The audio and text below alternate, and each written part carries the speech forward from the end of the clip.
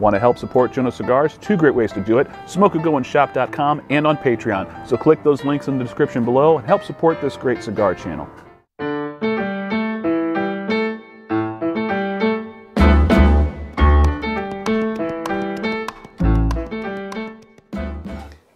And good evening, ladies and gentlemen. Joe Jonose Cigars back for another review as we move right along in the month of March. We have got a special collector's edition cigar that we are going to be smoking from J.C. Newman. This is the Leroy Neiman by J.C. Newman. This is a 6x52 Toro, paying homage to the late artist Leroy Neiman, the eponymous named artist.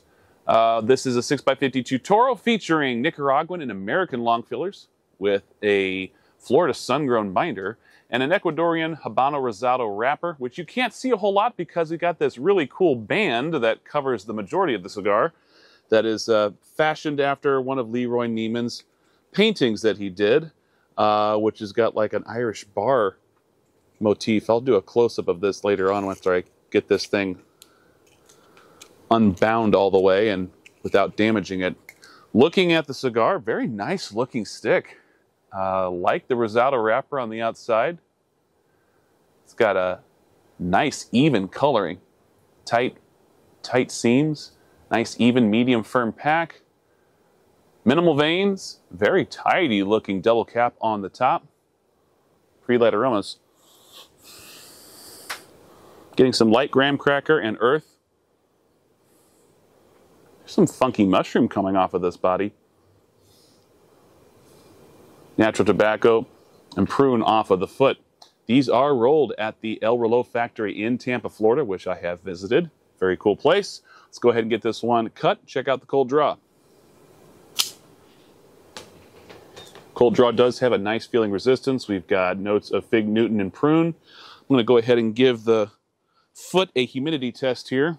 See what we're looking at as far as the humidity on the cigar. And it looks like we're sitting right at, oh, 60. Okay. That's pretty good. Go ahead and start toasting. See what we can find out.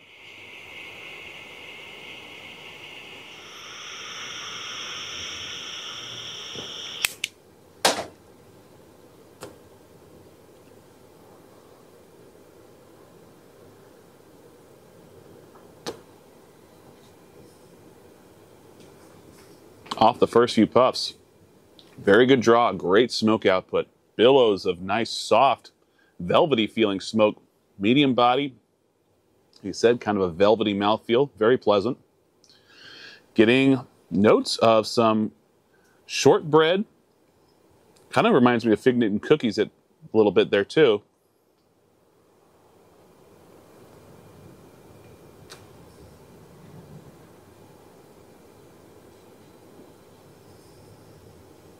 Retrohale, very smooth, nutty, got some cedar in there, some cream, little bits of allspice coming through on that retrohale too. Very nice, pleasant, soft, and I don't want to say delicate because they're not really delicate, but they are nicely balanced.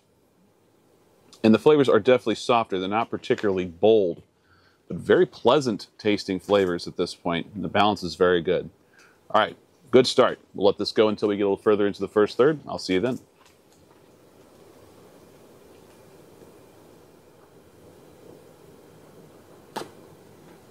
All right, 10 minutes in, well into the first third.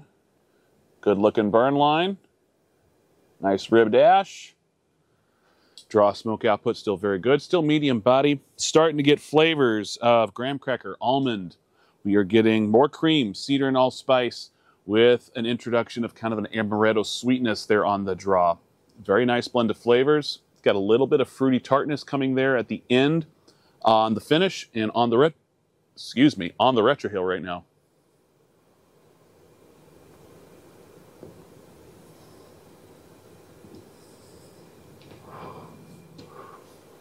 Starting to get kind of a tart cherry note coming through on that retro more allspice and other baking spices that I can't quite put my finger on it at this point. And there's some nice cedar coming through on that retro. Was able to find out a little bit about this cigar. It is a little bit on the pricey side, but all the proceeds go to help uh, support the arts and arts education through the Leroy Neiman and Janet Byrne Neiman Foundation. And uh, you can find all that on the back of this band. They got this little cute QR code on the back. And yeah, here's that close up. This is the Irish American bar painting, painted circa 1978 by Leroy Neiman. Very cool little band here, like that. Not really a little band, it's a big band, but it's a miniature of a piece of work that he did. Kind of neat. All right, we'll let this go until I get about halfway through the cigar. I'll see you then.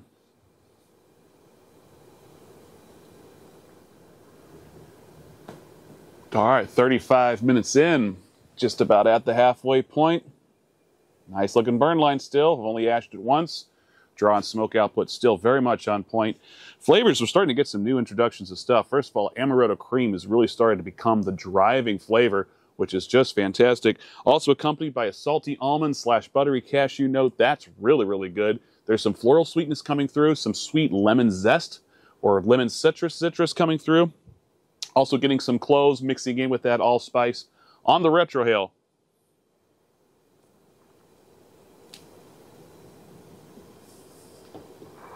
Hmm. Wow. That's interesting. We're getting toasted almond, little bits of some chocolate notes in coming in there, almost like cocoa nibs. But it's kind of creamy. There's some bitter walnut coming through and more florals and light touches of baking spice. There's a lot going on here. Pretty complex cigar, and the balance is very good. This is definitely a cigar that makes me stop every couple puffs and just go, hmm, now that's interesting. I haven't had that too many times in my life before, that particular blend. Kind of neat. Liking this one quite a bit. It's pretty good. We're going to let this go until I get towards the end of the cigar. I'll see you then.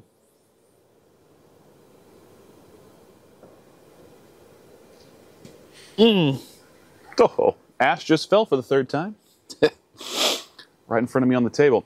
Hour and 15 minutes in. Really good burn line. Ash was nice looking too, but it fell. Flavors, man, that cocoa is kind of malty, sweet, creamy, nutty. It's got some cedar notes tagging along there too. Baking spices kind of come down. Not really there so much anymore.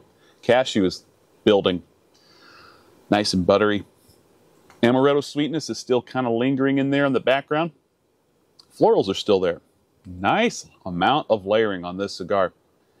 The cigar just kept getting better the further and further it went in. And man, even here in the back third, this is tasting very, very good. On the retrohale right now.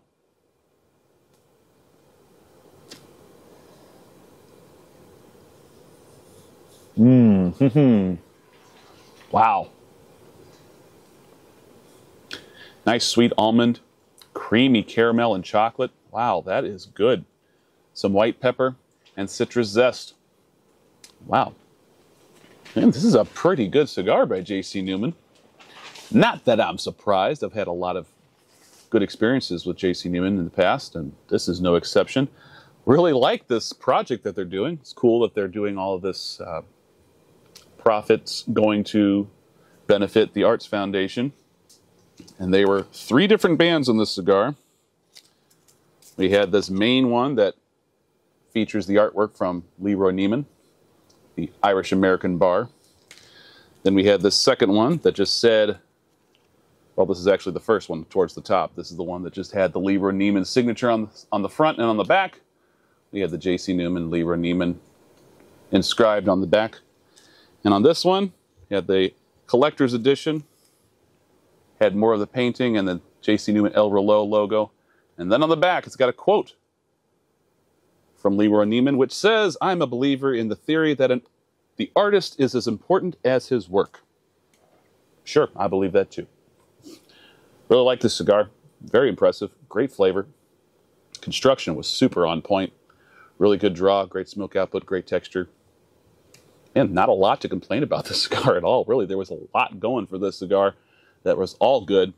And I'm glad I got another one because, uh, yeah, I really enjoyed this one a lot. Thank you so much for joining me for this review. As always, don't forget to subscribe. Click that icon bottom right corner if you are watching on YouTube. If you happen to be watching on Rumble, just look for the subscribe button towards the top right of the screen. Please don't forget to follow Jonose Cigars on Instagram. And please don't forget to follow my content, which I put out regularly on Cigar Public. If you like this review, please give me a thumbs up and don't forget to subscribe. And please leave a comment because that always helps the algorithm. You didn't like something, feel free to give me a thumbs down, but don't forget to leave a comment anyway so I can know what you're talking about when you are complaining about the quality of this review. If you didn't like something, just let me know what it was. See you guys in the next one. Until then, smoke a good one.